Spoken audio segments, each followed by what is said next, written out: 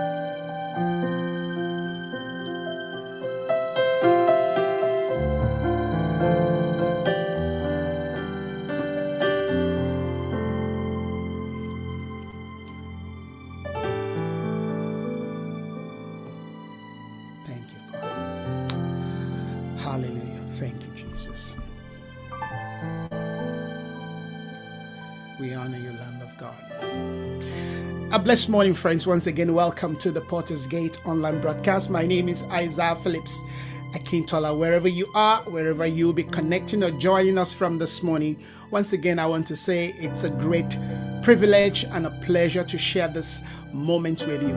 Well, we are deep into uh, a period where we are beginning to round up the year and we need to begin to look into certain uh, uh, emphases and directions that we believe will help us to be aligned and of course to maintain the intentions of God and the counsels of God for our life as a community, you know, as a platform and of course as the church the body of christ. So it's on this note this morning that I i'm going to be sharing some things that i'm hoping will give us insight and direction particularly as we prepare our heart regarding uh, uh, the coming year 2024 you know uh, like i know that 2024 is just around the corner.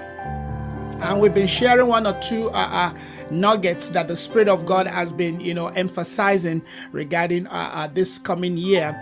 And i believe that many of the things that we are going to be saying all right will bring you know relevancy to your life will bring perspective will allow you to readjust and you know uh, uh, reposition yourself and of course move into that point where what what you stand for and what god amen has designed and ordained your life for will even become more you know uh, uh, effective in terms of fulfillment. So we're going to be talking about the concept of recasting the vision all right we want to understand what it means to recast the vision. And of course uh, um, you know as the seasons changes as the seasons unfold the idea of recasting vision has to be understood within the context of you know the nature of the days or the seasons that we have been ushered into. So how you understood vision you know in 20 uh, 2020 2021 23 of course amen must have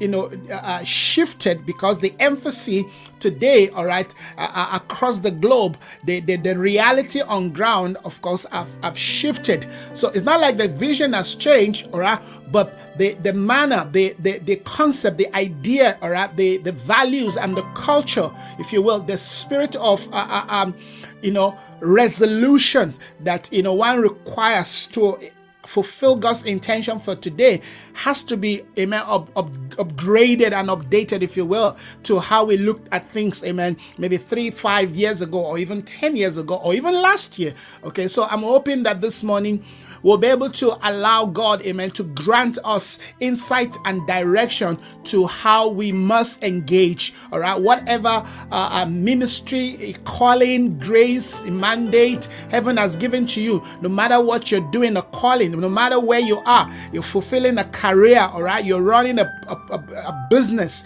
whatever it is, all right, you, you're standing in a position that God has called you as a man, as a woman, you know, as a husband all of this, amen, has to be done within certain, you know, concept, amen, and conduct of value system that will allow us to continue to thrive, amen, even within the resistance of the day. You will agree with me that uh, the days we're living, all right, uh, uh you know, are, intense in terms of you know the challenges the crisis okay? So what manner of men we ought to be what kind of amen women the lord amen is calling us you know to to to, to reflect and to project within the nature of these realities that are upon us. Uh, uh, i'm sure you know that we're in the days of the end. So if we're tracking the days of the end or are we tracking the nearness of the kingdom of god what kind of a lifestyle what kind of a mindset what kind of a belief pattern that that we need to wear, all right? Because if you want to engage, I made a statement, I'm not sure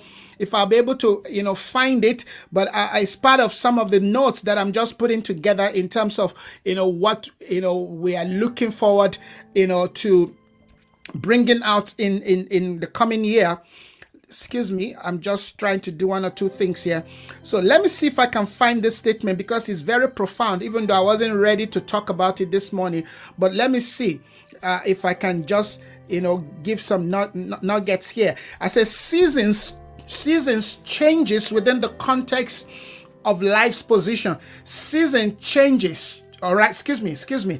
Season changes the context of life's position. All right.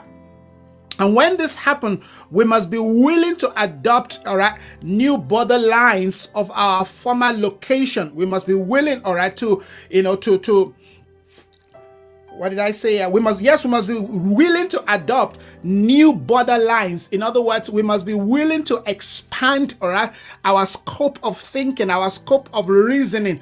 We must not allow, all right, you know, the, the, the, the days that we have been brought into, of course, circumstance, situation, crisis, all right, political instability, all kinds of things, all right, are disrupting the order of life. So, how you project, you know, vision, what you define as vision 10 years ago may not be able, all right, to, you know, to, to, you know, to impact that's the word to impact to make impact the kind of impact that right, you will expect okay or, or the kind of impact you made five years ago. Let's say let's say you start a business five years ago or the way you were running your family five years ago okay and things were thriving things were going well all right. By the time you hit amen 2023 all right moving towards 2024 you would have realized that things have become even more fierce more challenging more difficult okay. So you cannot cannot continue to run, you know, your home, your business, your ideas, okay, or yes, whatever you're doing from the same pattern of how you used to think, all right, 20 years ago, or 10 years ago, or even two years ago. All right. So as as as the season changes, and we all know that okay, the, when the season changes, it impacts the earth. There's an impact that is going on. All right. There's a negative impact that is going on upon the sons of men. But yet there is a positive impact, amen, that is coming also from the presence of God, from the throne of God. All right. And it's on that understanding that you and I, amen, need to align and position ourselves so that whatever God is saying to us, whatever God is speaking to us, amen, should be the direction, amen, that we are towing. All right. Because it's in that line that we will receive the right perspective, the right understanding, and of course, the right resource. All right. Yes, famine was declared upon the land. They said to the prophet, they said, Go to the brook. There's a word, amen, that was given to him, go to the brook. And what I'm sharing this morning, okay, is going to affect or, you know, impact every area of our life. Amen. Like I said, either you be a man or be a woman, or be you, you know, a leader, be you a business, you know, an entrepreneur or, you know, or you be a, a government, there will always be something that will be making demand on you, all right, to either say you're unable or compromise. So the more we understand the nature of the day, the more we need to change. Now listen to what I'm about to say. The more we must eh, amen, change or adjust or adapt our wine skin to that of what is known as heavenly life or heavenly values. And it's for this reason Paul said, all right, in Luke 26, I am not disobedient to the heavenly, amen, vision because heaven is where we source our vision. Heaven is where we source the provision, amen, to fulfill the vision in time. Remember that heaven and earth, amen, are two different realms, are two different reality. Their economy, hallelujah, differs. The economy of heaven is totally different from the economy, hallelujah, of the earth. The government of heaven is totally different from the government of the earth. Now you're supposed to be in between these two systems, in between these two order. You understand? This is very important, and this is quite exciting to me as we as one begins to look at right, the nature of the day. Most time we talk about understanding the nature of the day, but what about amen? The nature, amen, that heaven will have us to wear. You see, David was able to defeat, amen, that which looks impossible, that which sounds impossible, that which can, you know, dwarf or in fact neutralize, you know, any human being just by the sight of Goliath. David, amen, you know, a small lad was able to defeat because he was not operating from an earthly position, even though he was an earthly man hallelujah, who wore an heavenly mindset. And what I'm saying, all right, that in this season, we need to, amen, revamp, we need to, amen, adjust, we need to look more into, amen, the order, amen, of, of, of where we're sourcing strength and grace. If you are looking, if you are focusing, if you are fixative, amen, on the earth to want to fulfill heavenly things, you are going to be, amen, you're going to be, dis, you know, uh, uh discouraged, you're going to be disrupted, amen, you're going to be dispossessed says. These are the you know words that the Lord okay is bringing you know to my spirit, and these are the words we've got to engage. And as we press towards 2024, I'm going to be sharing on amen the concept of how we can maintain amen our mandate in terms of occupying. You know, Jesus said, "Occupy till I come." Occupy till I come. What, what, what does he want us to occupy? What are the things, amen, we need to know, we need to do in order to occupy? I just gave you a concept, amen, of, you know, of, of, of David. Everything that David did looks impossible in the natural human realm. But he was able, hallelujah, with the mindset, with the belief system, amen, with in with the cloak, because he undressed himself, amen, from you know the, the, the, the cloak or you know the armory of a rejected, amen, king. Saul was a king, but he had no he had no more legitimacy, he had no more power, he had no more authority, and that is how many churches, all right, are functioning today. Even though they they seem to look they seem to look lanky, they seem to have power, they seem to have presence, but they have lost the presence of God. And that's how many homes, family, you know, men and women are functioning. All right. Their strength is in the arm of flesh. You know, uh, you know, it was it was you know Saul that said to David, "You want to fight this thing? Okay, let me give you my armor." No, no, no, no, no, no, no, no. If your if your armor can do it, all right. If your cloak could, could do it, why didn't you go as a king? Why didn't you, amen? Uh, you know, reflect the glory of your kingship you see, there's a king that is there that is rejected, that has become obsolete. Amen. The heavens, you know, approval, amen, has been taken from him. And there's a generation rising up, amen, called David. They don't have an authority from the human realm. They don't have any influence. They don't have, you know, something to show forth, amen, in the natural, all right, to say that they, you know, they command, you know, influence and power and authority. David had no army. Amen. When you look at David in the natural realm, amen, he, he's not the kind of a person that should stand before Goliath. And I'm saying this that the challenges before us, the challenges ahead of us, amen, are a reflection of this story.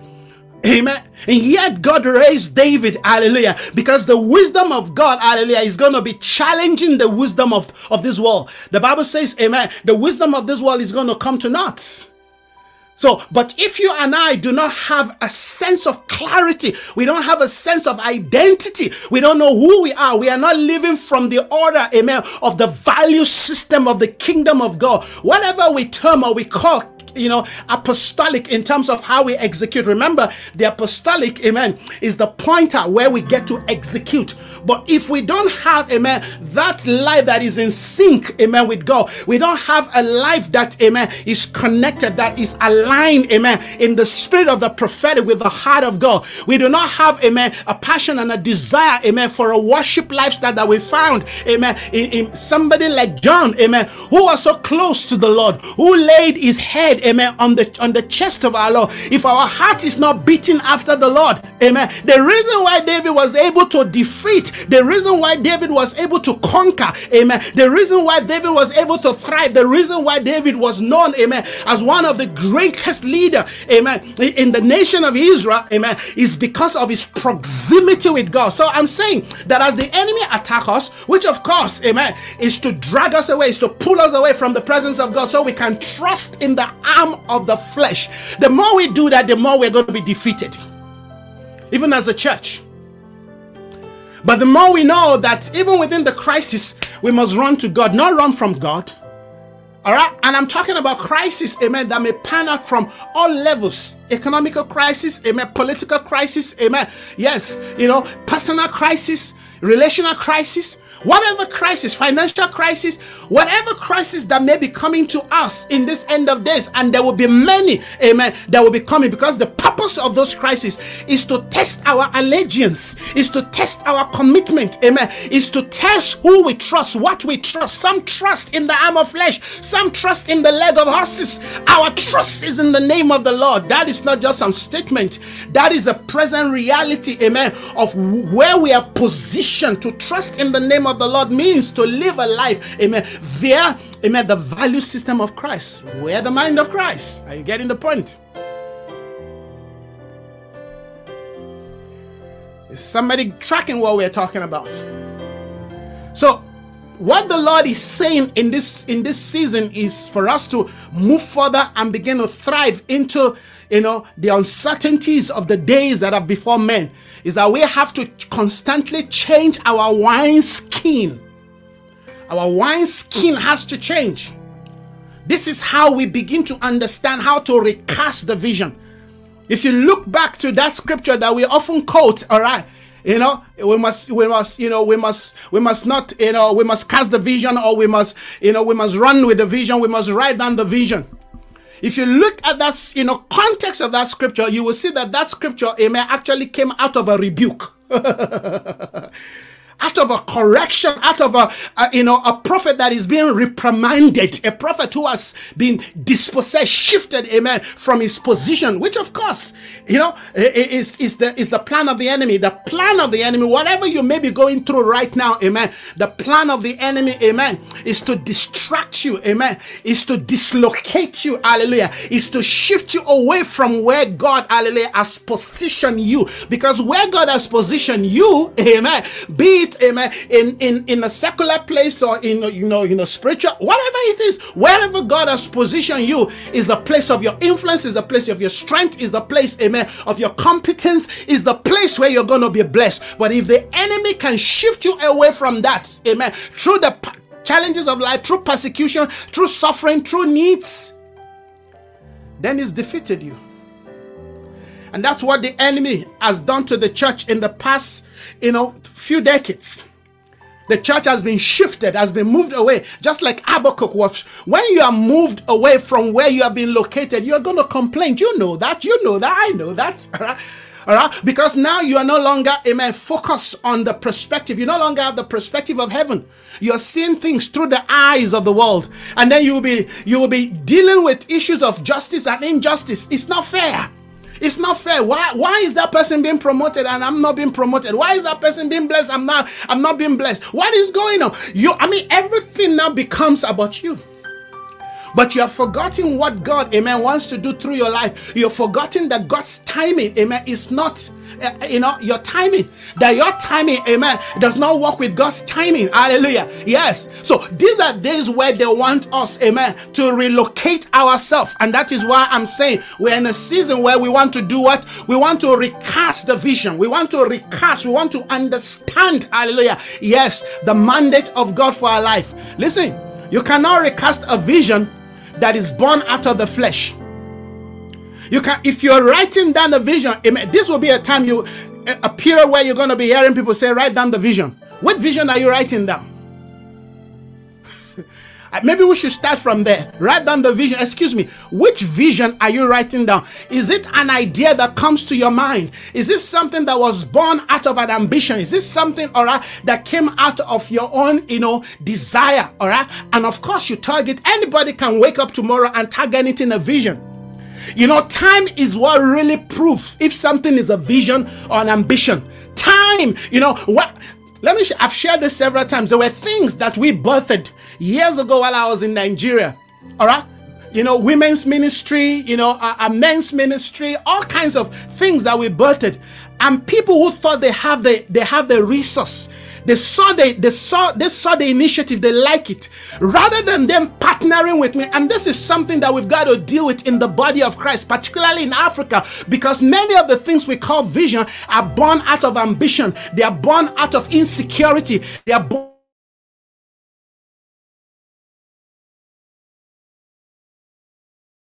born out of out of the heart of God because many people who claim to have something, you know, to carry out for God don't even have a heart for God, don't even have a desire for God. They are not a people, amen, who are known to be people of prayer. When you're a, when you're a person of prayer, God will give you things, amen. God will give you that which is your own. So many today, in fact, if I were to say 99% of many, of, you know, most of the churches out there are just a carbon copy of another church. You know, church is like a DNA. You can't duplicate it. Do you hear me? Church is like a DNA. You cannot duplicate it. So is that which God, amen, gives to you. If God gives you, amen, a blueprint for a ministry, for something to be carried out, amen, there is there is something about that thing, amen, that is uniquely you. So many of those people, like I was saying back then, they saw the things I was running with, they hijack it ministry. Many of them, they've got money. Of course, I don't have the kind of financial muscle, but this is where they got the money. So they ran with those things. And you know, some people were calling my attention. So you say, what these people are doing? In fact, some of them were so bold that all they they even used the name I was using. What can I do? What does Isaiah know? That's how you know that things, amen, that people claim to be projecting most time are not from God. So when you say write down the vision, amen, who is the source of that vision? How did you get that vision? Because you can write down your ambition and call it a vision.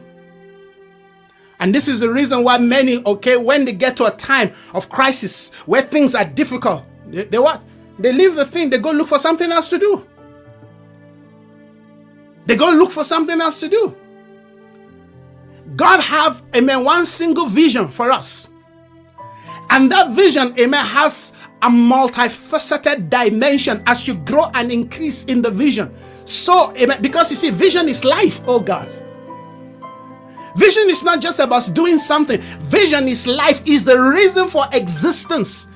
In 2025, 2030, hallelujah. If the Lord tarries, I will still be doing, amen, what I'm doing but from a different context. Like I say, like I said earlier on, context changes, amen. Our operations of vision. The vision never changes, but the context, hallelujah, of the day, the context of the season, the context of the epoch, the context of the decade, hallelujah, will cause us to wear a new mindset, if you will, a new wine skin that will allow us to thrive within the crisis, within the limitation, within the dispossession. Nobody can dispossess me out of that which God has called me to do.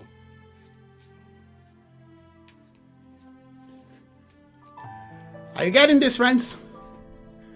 In a million years, I cannot be dispossessed. But if I allow myself to be, I will be. Because that is part of the end, the plan of the enemy. What is the plan of the enemy? It's come to what? To steal? What is he stealing? You think he wants to steal your money? you think the devil is after your money?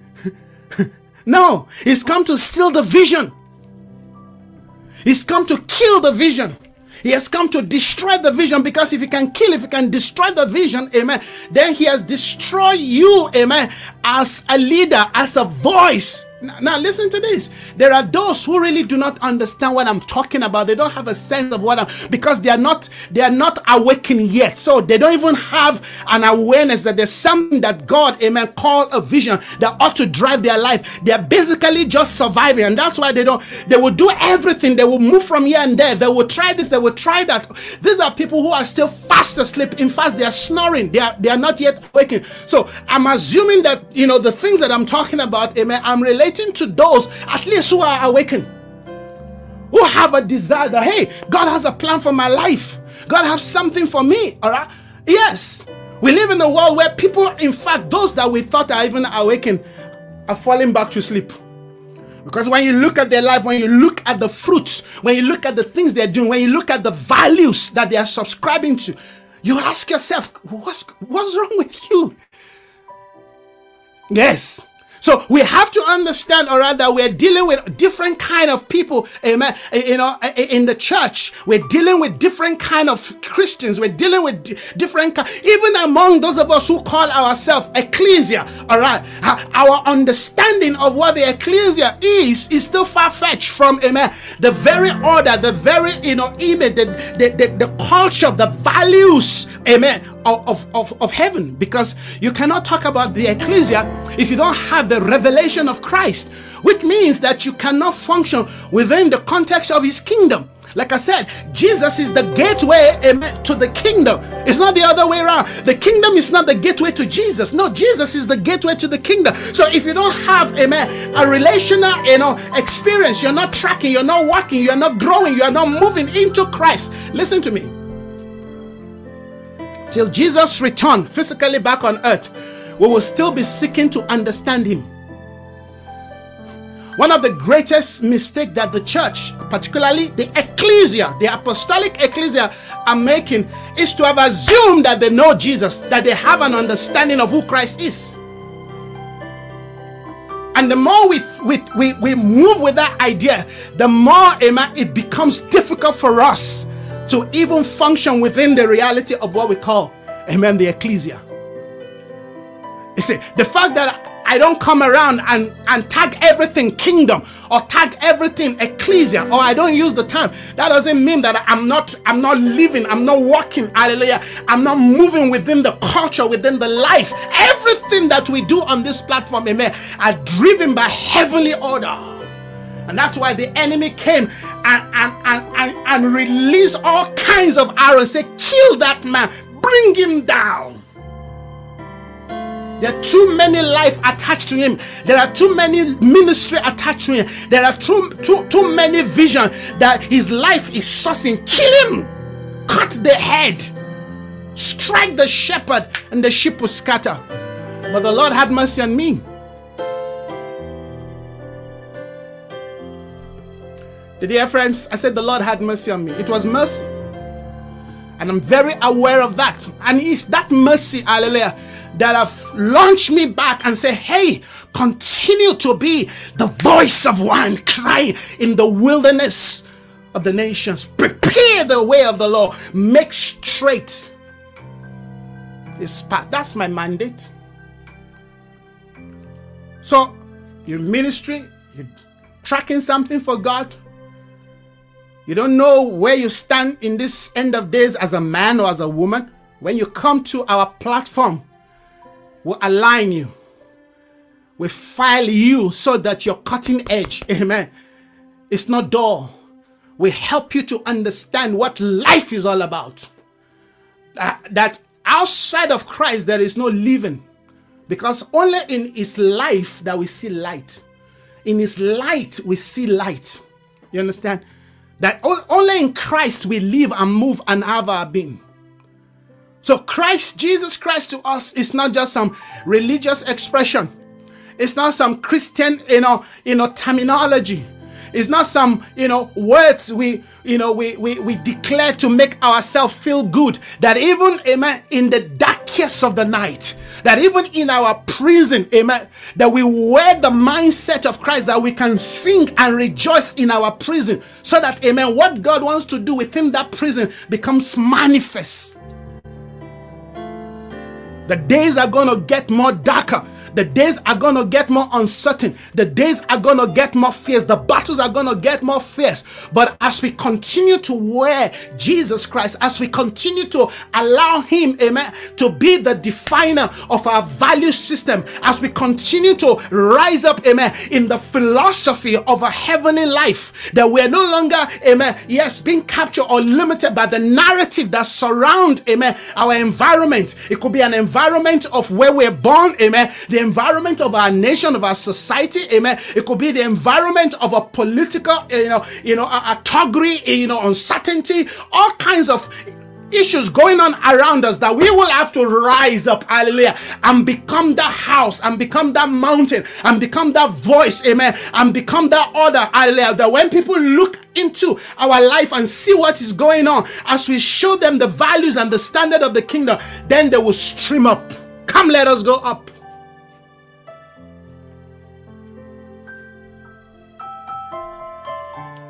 Are you listening this morning? This is what we mean when we say recasting the heavenly vision.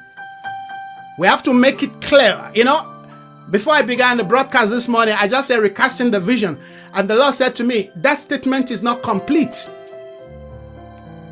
You have to contextualize the vision. It has to be heavenly because, amen, worldly people too are talking about vision. If you go read many of the books that worldly leaders have written, they talk about vision. We've done, you know, series of teaching early this year, you know, towards the beginning, if I'm not mistaken, or yes, towards the beginning of the year, we did series of teaching, amen, on understanding vision. In fact, maybe some of those teachings I need to repost them because they're so profound. We try to understand vision, the objective of vision, the focus, amen. What it means to, you know, to, to begin to fulfill, to begin to bring forth, to begin to birth. Every vision, hallelujah, requires a womb because a vision begins from a seed. But you all, you know that we can't, we can't eat seed. You all know, amen, that we can't live on a seed. But seed is just the potential, hallelujah, yes, of a bounty harvest. Every forest starts with a seed.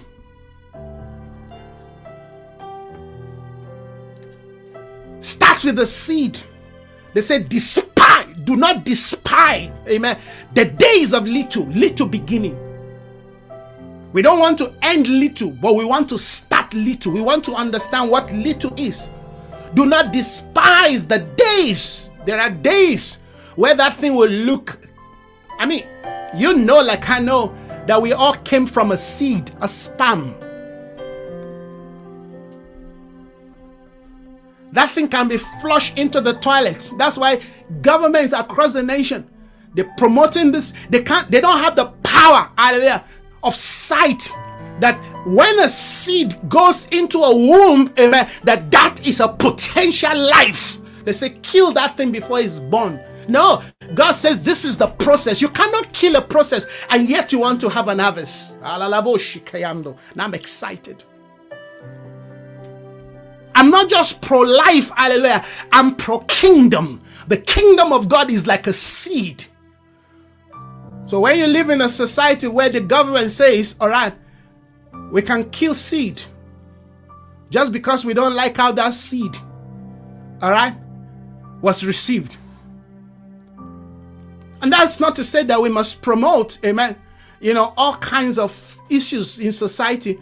The issue of raping women and doing all kinds of. No, we don't promote that. We should not promote that. In fact, there should be harsh, harder punishment on men who take advantage who rape. Amen. Yes. It's not just, you know, even men. Listen, we live in a society where fathers, amen, are, are raping their own daughters. It's a crazy world we live in. But if a seed, amen, yes, is received, no matter how, remember that when a sperm is re- released, they say there are millions, close to a billion sperm released. You can't see that thing. But within that thing that you can't see, amen, is a potential life. I mean, like I said, the battle has has has been has been has begun even before you were born. If you can make it into the world, no matter amen, where you are dropped, because those are the things that limit us. I was born and I was dropped, all right, by the gutter side. I was born and I was dropped, you know, in the dustbin. I was born, but I grew in an environment where I had to, you know, go to school with barefoot. I didn't eat. I mean, I can tell you you know, the challenges around my growing up. But the Lord, hallelujah, you understand, who allowed me to make it into the world. In, the fact that you made it into the world means that you had a you had a breakthrough spirit. Do you know how many spam died? But you made it. Everything about your life, amen is the formation of a seed. That's why we give to the things of God is a seed. When you sow a seed, amen. Listen, don't look at the people, don't look at the man. Don't no, of course we must know where we sow our seed. But when God tells you sow a seed, there's a principle, there's a there's a spiritual principle that is in motion. God is the first giver. Even God Himself operated by the seed. For God so loved the world that He gave. Zabayakayana. One of the ways you break away from limitation, hallelujah, is by understanding the principle, hallelujah, that governs the seed. Your future, your destiny, the things God has called you into that you're going to do, hallelujah, may still be in that formation of a seed. But don't let that discourage you. Don't let that, amen, yes, put you in a state where, because everybody loves manifestation.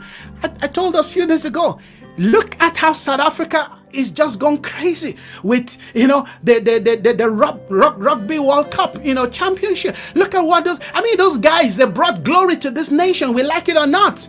We cannot, we cannot, you know, you know, push that aside. Those guys did something. Those rugby guys did something. Can you see how everybody, everybody is just people love success. But you go read about the story of all those guys, you know, they, they beat the best. They beat the best. And that is the same example of what God, amen, is calling us into. It's not going to be easy to thrive in this last day, but if you will give that extra, if you will push, amen, if you will go back, amen, to God and say, What is the vision? Show me, show me the path. If you will listen, if you will respond, if you will align yourself, hallelujah, to the training. We did a series of teaching, you know, a few months back, amen, on discipline. My son, do not despise the discipline of your father. No seed guess to win like David. No seed gets to stand. Hallelujah. He understand I'm able to challenge. I mean, Jesus came into this world as a seed. Look at that. Think about that. At the age of 12, he began to manifest just potential. Not the not the full manifest, just just a little. Age of 12, all the professors, all the doctors and the lawyers, amen. Yes, who are Pharisees and Sadducees and all those guys who thought they knew something. He beat all of them hands down at the age of 12. That's why I said some of us, we need to begin to rediscover God for a reason to discover ourselves. like I always say, you don't know who you are you think you know yourself? No, you are living another man's dream. You think you know yourself. Amen. You are living, you know, a script that has been written down, written out. Hallelujah. Yes, for you by some ungodly, perverted, you know, you know, system. And many of us are still living the dream of other people. We, when, when, when we commit ourselves to something, no, there's something in our brain that is driving us. It's not God. It's not heavenly the insecurity, all right, the lies, the false identity they have given to us has made us to come up with all kinds of things. We call it a dream, we call it a vision. That was all until he collided with God on the road to Damascus. When he collided with God, they brought him to his real self. This is who you are. what you thought you are is not who you are. They've put a wrong thing in your mind and you're succeeding with that identity. I'm a successful man. Oh, uh, uh, you know, she's a successful. No, no, no. You are not successful until you collide with God.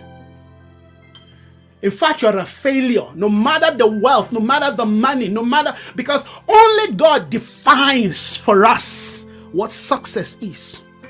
Who is successful? You but a breath that is to them tomorrow you're no more. You think you understand success? People have lived their life in assumption, in presumption, living our life in falsehood. That's why when anything comes to challenge us, to steer our waters, we fight, we resist. No, because you know your your your denial mechanism, amen, is being attacked. That's why some people can't stand the message we preach. It's too hard for them. It's too difficult for them. This is a hard say. Who can bear it? We have not even got. Listen, I'm I'm very aware of how I'm passing. We're still giving scalable, scalable truth because I know. All right, if we begin you know, I know the society God has sent me to. I'm very aware. You know, when I began, you know, at the early, you know, early days of my ministry in South Africa, you know, I came with a powerful, strong apostolic. I said, no, this thing is too, it's too, it's too chewy, it's too hard. This thing is like a bone. I had to put that message, put it in a shelf, and say, God, okay, help me, help me to understand. You see, got to understand the context of the environment. Am I saying there are no apostles and prophets, you know, doing great work? They're doing it within the context of their of their mandate. But you know what God has given to me and the kind of a message God has called me to do, all right, I cannot run that, all right, in this kind of a template that the wine skin is still rigid, that the wineskin, all right, uh, is still being defined, all right, by the old old mindset, by the old apartheid mindset. I hope you understand that apartheid is not just something political. Apartheid also amen, impact the spiritual configuration, hallelujah, of the people. Apartheid impact, amen, the belief system. You understand? Till today, you understand? You talk about, you know, you know, uh, uh, uh, you know, blacks against blacks. You talk about colors against color. I mean, there are all kinds of things happening, and we're asking ourselves, but how did we get here? No, the real issue we have not really dealt with them. That is why I believe that the destiny of this nation is not in the hand of politicians. Not even the God knows what they call what they call them now. The Patriotic Alliance. That is just an opportunistic, opportunist. Let me repeat it again. An opportunistic, or oh, you understand? Yes.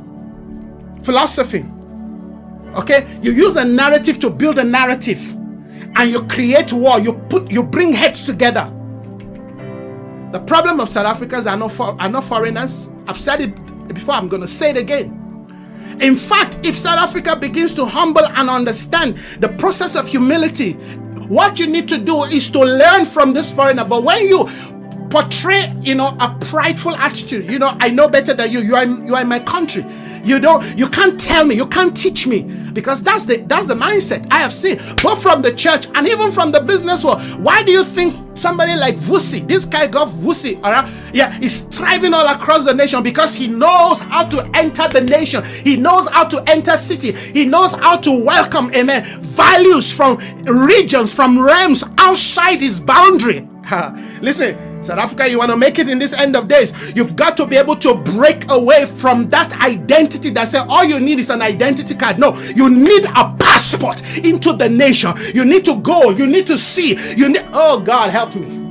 Let me not even begin to start with South Africa this morning. Why? I'm sent here. I'm a seed sent here, earlier to help a people, to help the land, to you know, to, to break the fallow ground so we can receive our identity, our belief system of South Africa is still in the past. And that identity is obsolete. We live in a global village. We live in a global world. No matter who you are, you can no longer claim South Africa belongs to us. No, the people controlling this economy are not even within this economy. Karabayada. There are those that when they speak, the government will listen. Why? Because they cut the shot. So let's not be opportunistic. We need people who understand, amen, organic transformation who really have the heart, amen, who are ready to roll the sleeve and engage the mindset of the people and really engage, amen, yes, the ideologies that have kept the people in prison, amen. That hey, listen to this. The reason why you're fighting somebody else is because, amen, you yourself, you see yourself as a threat. I'm not distracted. I'm still in line because whatever we teach, whatever we, whatever we talk about, must be able to impact people's life. Amen. On ground, the word must become flesh and dwell among men. We must see the work grow up. Amen. Yes. They said, Jesus, what you're doing is good at the age of 12, but we want you to grow within the process. We want you because every priest, hallelujah, must be taken from among his own. So he was among his own, but he was not contaminated by his own. You see, I'm very aware of where I'm where I come from. I'm a Nigeria, a proud Nigeria. And I know the narrative. I know both the positive and the negative narrative around that nation, but those things don't define me. I know the narrative earlier that's been built around, amen, blackness, the, the black skin. Those things don't define me. I say thrive. There are things, first of all, you've got to understand. And that is why, amen, coming to Christ is the gateway, amen, to the beginning of your freedom. We need to let the pastors know the apostles and the prophets know, amen, that they need to teach the amen, the message of redemption and salvation, amen, from a kingdom, you know, value system. That if any man be in Christ, not just in a church, not just in an organization, just like amen, being in an organization called DA an organization called you know ANC or Patriotic Alliance or EFF, amen, does not bring freedom or liberation to the nation. No. It is the spiritual philosophy that, that, that informs your template of thinking and reasoning that you bring to the table, hallelujah, that pushes, amen, the value system of the nation to that point where they begin to thrive. All of the party have their own manifesto that comes from somewhere. Come, comes from somewhere. Many of them, amen, are Calmast You cannot build, amen, the identity that will change a nation. Uh, you understand? Yes, on, on capitalism and Karl and you think you're going to thrive. No, you're making a big mistake. Look at how those people, amen. I mean, look at people like uh, um, EFF, for example. No, no, we. We, we, we believe in Karl Marx, but we hate the Jew. But the Jew, amen. But Karl, Karl Marx comes from, amen, the, you know, the Jewish nation. Oh, come on. Let's not even begin to go into all of that. My point is, we want to understand what vision is. We want to understand what vision is. The vision is not an ambition that you tag, that you tag a vision. You can call you can call anything by whatever name you want to call it. If if, if that thing does not subscribe to the value, amen, to the nature, to the culture, to the identity, amen, of that name Remember, name is a nature. Name is not just a tag of identification. Name is a nature. When God gives you a name, hallelujah, He is saying, hallelujah, go and thrive in the understanding of this nature, this character. Amen. When a Jew gives you a name, just like from where I come from, when they give you a name, they don't just give you a name because, well, oh, that sounds nice. No, that name, amen, is connected to something beyond what men can see. So every time you call that name, you invoke the spirit, hallelujah, that governs that order. So you can say, well, this is a vision. Well, we'll see. Time will tell. and that's what led me to all the things I've said. Time will tell. Time is the definer, time is the judge if it's a vision or an ambition. If it's an ambition, you will have to thrive. You will have to strive. You will have to do everything within your human ability, your human wisdom, your falling suke, amen, to keep it moving, to keep it going, because God is not going to back it. No, It doesn't waste his seed. God does not waste his seed on that which the mind of man built. Hallelujah. I mean, you wake up, you'll have thought the, the years come to an end. So, what are we going to be saying next year? What, what, what direction are we going to be towing? This is where you know if God is in, involved. No, the things that I'm saying right now are not a recycle message. I sat down, the Lord began to download the next thing He needs me to do and say regarding the days ahead. I was glad. That is the power of vision. It's self sustaining. What do I mean by that? Because vision is life. Amen.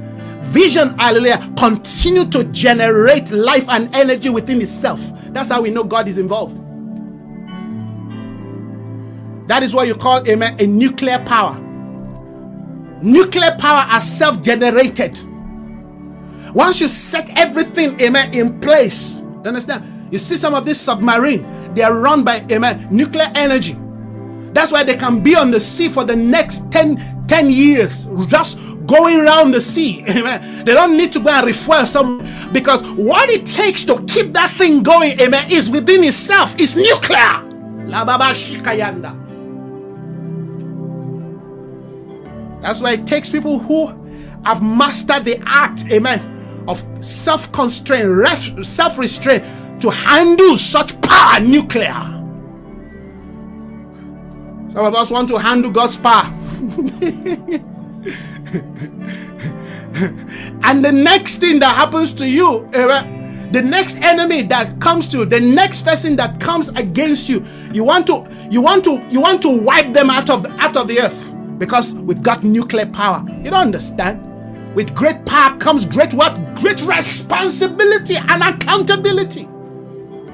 That's why God will not give you that thing until you've come to the end of yourself. They've given you a vision, but the character, the ability, amen, the quality of lifestyle to maintain, to handle, to manage, amen. Vision is power. To maintain that power, you've got to grow up. They say, Jesus, we see your potential but you still need to grow. Come to the age of maturation, 30. But we see what you can do at age 12. I mean, he made a statement when his parents were looking for him. He said, But you should have known that I must be about my father's business. Everyone should be about your daughter at age 3, age 5, age, age, age, you know, age 6, 10, your son should begin to understand what it means to live for Christ. It's not a spiritual language, it's a call, amen, to be initiated into the order that whatever they're doing, amen, be you want to be a pianist like my son. You want to be, amen, the best, you know, you know, lawn tennis player like my daughter. Whatever you want to be, it has to be done within the context, amen, of the vision of heaven. Meaning that that grace, that gift, that talent that is given to you should be projecting and, pro- and, and promoting the values of heaven. This is not trying to be the best so you can be some celebrity. We have celebrity pastors, celebrity, you know, you know, uh, a first lady. God help you. Shame on all of you. Projecting yourself, it's you, you using the gift of God. That's why God said to them on that day, I never knew you. Yes, you, you use my gift, you abuse my resource, but you never did my bidding.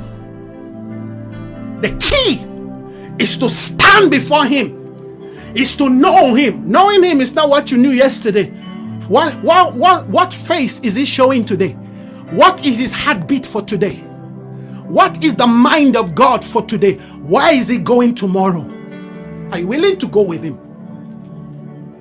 Or are you just willing to stay on the nice part, on the good part?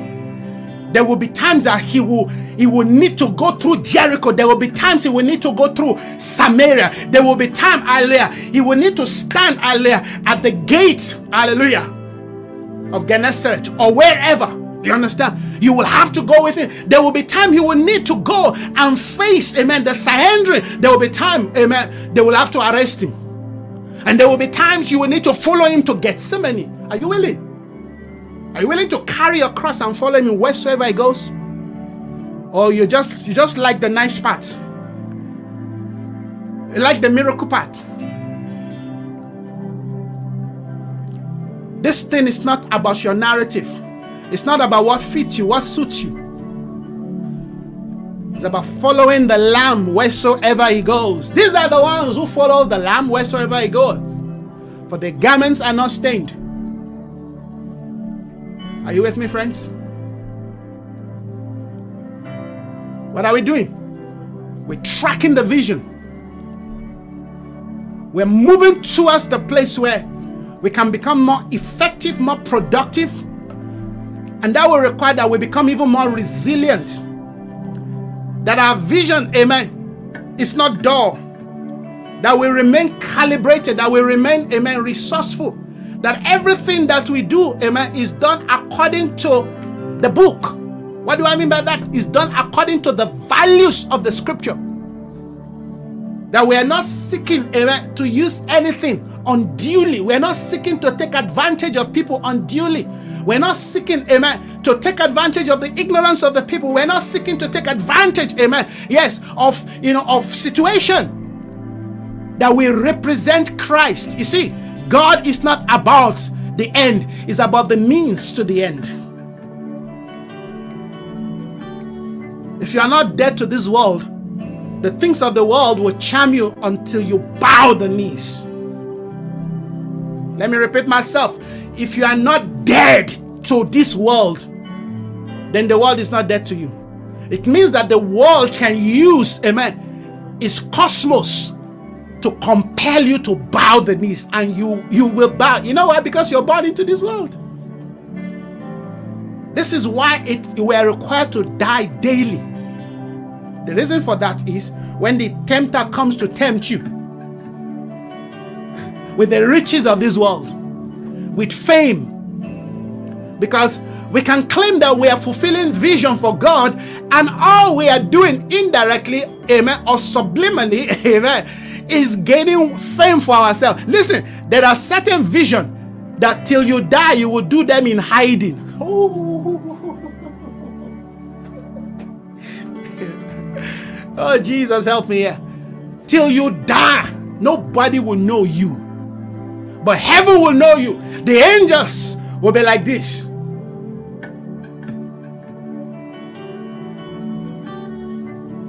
Because there are certain vision you have to do behind the curtain.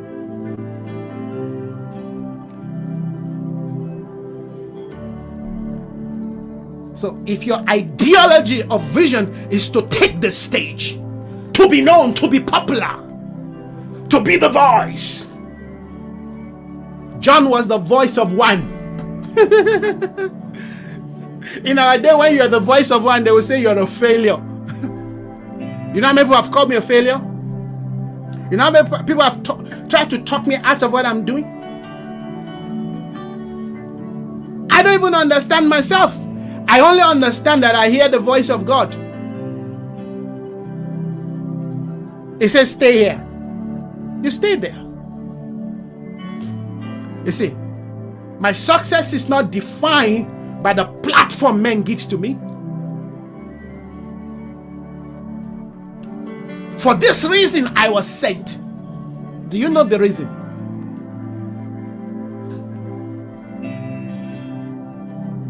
Let's look at some things. Now, I, I want to read a scripture let me see if I have that scripture somewhere here. I'm going to read this.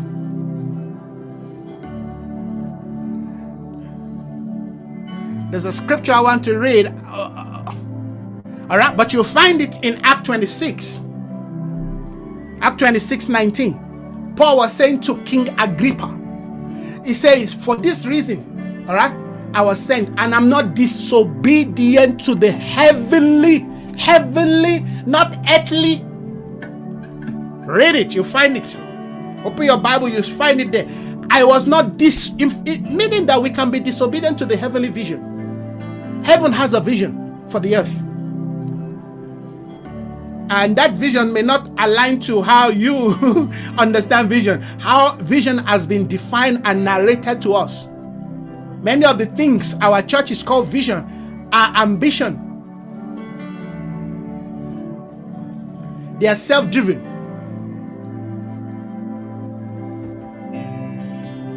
That is why we cannot, amen, manifest the glory of God, establish, amen, the kingdom of God in our backyard. In our backyard. Not even to talk about our community. Because heaven does not support that thing we're doing.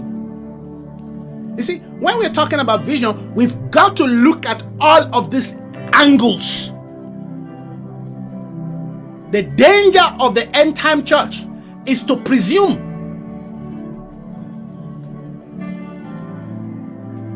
And to presume based on the result you are seeing on ground. Sometimes the result you're seeing on ground, amen, is a manifestation of the rejection of God, of the disapproval of God.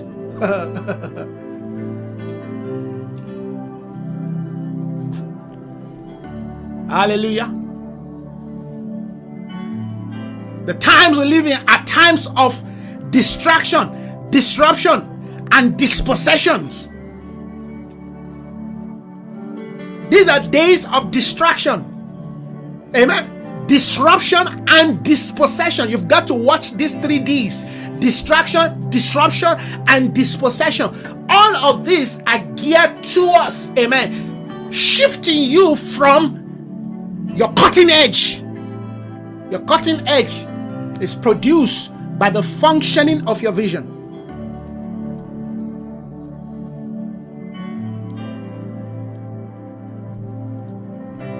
Somebody still alive? Are you listening to me?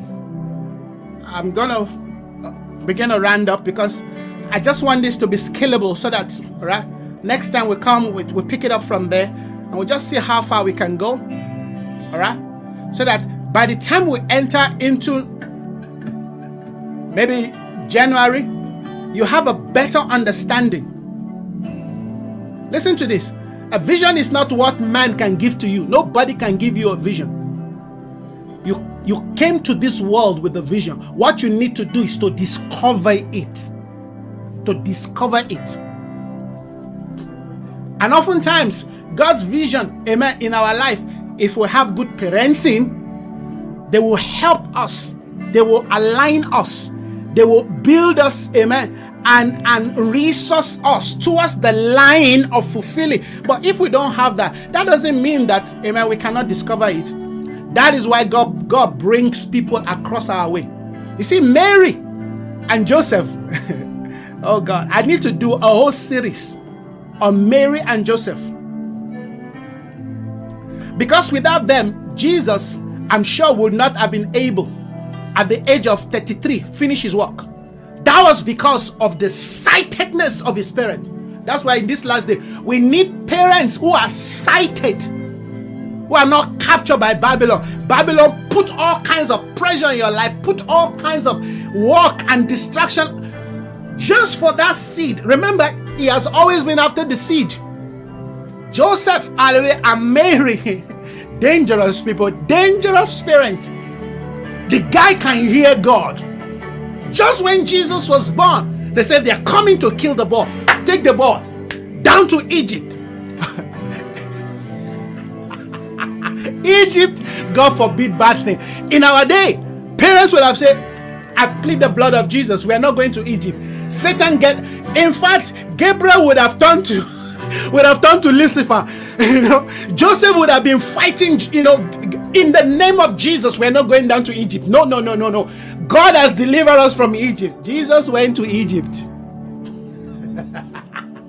Don't mind me, I'm just excited. The power of parenting. And that's why when God puts leaders in your life that act as a parent, you don't treat them like something else. You accord them the value, the respect, because God has placed them to watch over you. That's what the Bible calls, amen. Overseers, they oversee you. That's the meaning of overseer. It's not the one that sits in a big chair and lord it over the people. No, the Bible said they watch over your soul. I can't take you to where you don't want to go. So these are this our sight has to be calibrated. Take the boy, Mary. And Mary did not, if it's our sister in our day, why do you think they would have done? Uh, Joseph, If you want to go down to Egypt, you go down to Egypt. Remember, we were enslaved in Egypt. We're not going to Egypt. Hey, there would have been war in the house of uh, Joseph, yes, because you know Mary refused to listen to Joseph. Don't we have sisters like that? I carried this child in my womb for 12, 12 months, no, nine months. I'm not going to listen to you. They were in sync. Remember, the seed was not Joseph's seed, but but he parented Jesus. He was there. He took that boy. Nobody, no man in our day can function, can do the work that Joseph carried out for God. Hello? How many messages have you heard today where the whole series, amen, is on Joseph?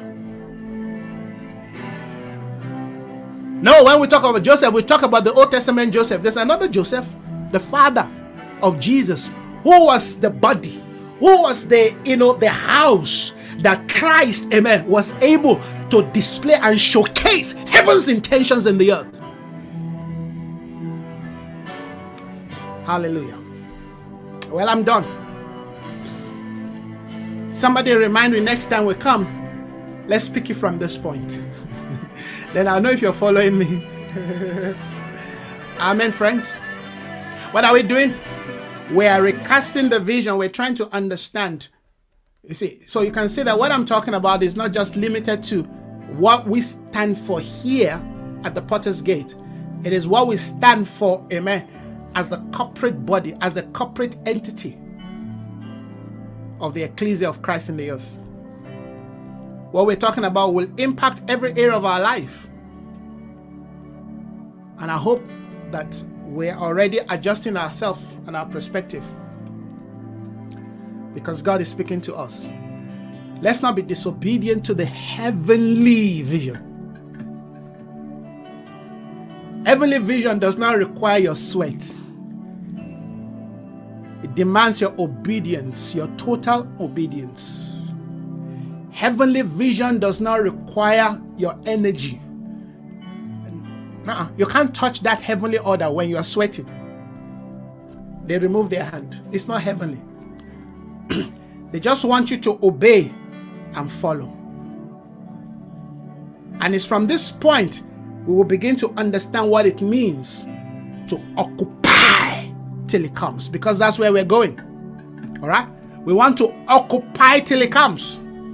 We want to be strategically positioned to occupy our place. Like I said, some of our work to occupy will mean just to focus your time on that child. Focus your energy on that. They say, Mary, did you know? Did you know that you are carrying, amen, that the seed you are carrying is God? Mary, did you know? Many of us don't even have a sight. We don't have insight over the seed God has given to us. That's why we treat the, the, the seed, you know, anyhow. Either the spiritual seed we carry or the physical seed that come out of our body. We have no sight. We allow Babylon to define them. We allow Babylon to control them. We allow amen, Babylon, amen, yes, to control them. And then we start complaining, why is my child behaving like this? But you, you out of ignorance, allow that to happen. So, friends, as we move towards the days of the end, we've got to understand what it means to occupy. And I'm going to be defining all of that. What does it mean to occupy? What are we occupying? Listen, what you don't occupy will be occupied by something else, by someone else. There are no vacuums in life, there are no vacuums in the spirit, and there are no vacuums, amen, even in the physical realm. Wherever you find a vacuum, there is a fight to occupy it. And the, the kind of world we live in today, Babylon is brutal. Babylon wants to control everything, Babylon wants to buy everything. You are still working. While you're working, doing your work, committed working, another company has already bought your company. you are still working. You don't know that you now you belong to another owner, but you are still working and they're, they're still paying you salary. But another person that oh, there are realms, there are battles, there are things going on above your head that you are not even aware of. You want to be complaining.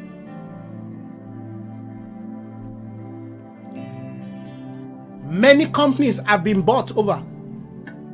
Just like, you know, companies have been bought over. There are churches that have been bought over. Visions, amen, hijack, giving them something else to preach. Homes bought over, dispossessed. What manner of men are we supposed to be in this season? Are you so persuaded about the vision that you will not allow somebody to buy it? God help us. Lord, we honor you. Friends, if you have not subscribed to our channel on YouTube, please do. I beg of you. He said, What has come over you? No, we also want to grow the channel. So if you have not subscribed, please do subscribe to our channel because God is using this channel to speak life, to bring clarity and direction to nations. And please do support us financially because we want to do great things for God in the coming year. And we thank everyone who, in one way or the other, are helping to raise, you know, my hand in this work. Grace to you, kudos to you, I appreciate you. But for those who have not support, but you've been so blessed from our channel, please think about it. Start thinking about it. You know, if you don't put this thing at the forefront of your mind, you're not going to do it. You take it for granted. You see, as I'm speaking, some people will be leaving. Don't leave here. This is the sweat of certain people that are in manifestation. Certain people make this thing happen. Let's commit ourselves to give to the advancement of undiluted prophetic amen initiative. Do it for God. Say, how can I be a blessing? What are the channel? What are the means? If I have seed, what can I, you know, where can I put it? Send me a message. Or next time I'll show you the account. You do that, please. Bible says, ask, it shall be given to you. Seek. We ask the Lord, but God will use people. So if you are benefiting from what we're talking about, for a whole year you're benefiting from this truth. Wherever you are across the earth, you can be a blessing financially to us. Thank you for praying. Thank you for standing with me, particularly in my time of need and crisis. But we're moving into uncharted territories. We want to do great things. We want to remain relevant. We want to remain on the cutting edge. We want to work on many materials that will allow us to continue to bring perspective. You know, a few days ago, I, you know, well, for, for a while now, I've been posting some of our nuggets, you know, on, on TikTok. You know, a few days ago, I had close to 4,500 people, you know, view some of the messages that we've been talking about. 4,500 just on one message. People want to hear more of what we're talking about. So please, I encourage you to encourage me so we can continue. You want to hear more of these things? Remember, no holds back. We are not holding back. We want to continue to proclaim and declare I am the voice of one crying in the wilderness. Prepare the way of the Lord, make his path straight. God bless you, friends. We'll see you again, hopefully, tomorrow if the Lord permits us. So please do uh, subscribe to our channel, tell somebody about it, all right? And we'll see you again. God bless you. Enjoy the rest of your day.